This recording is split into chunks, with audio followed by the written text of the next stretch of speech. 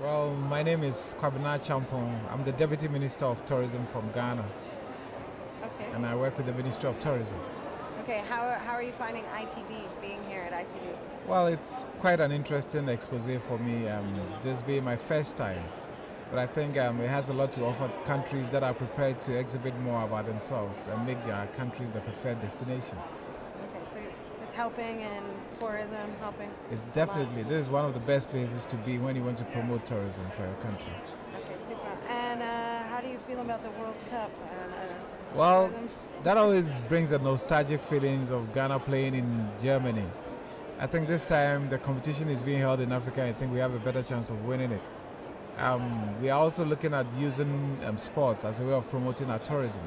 So it's a perfect match, basically using our national team, the stars, our fans, to push Ghana up the ladder in terms of sports and tourism.